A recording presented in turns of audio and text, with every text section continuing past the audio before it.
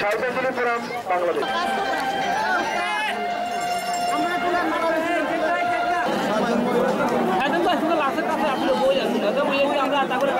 যে পরিমাণ লোকজন মানে আসা যাওয়ার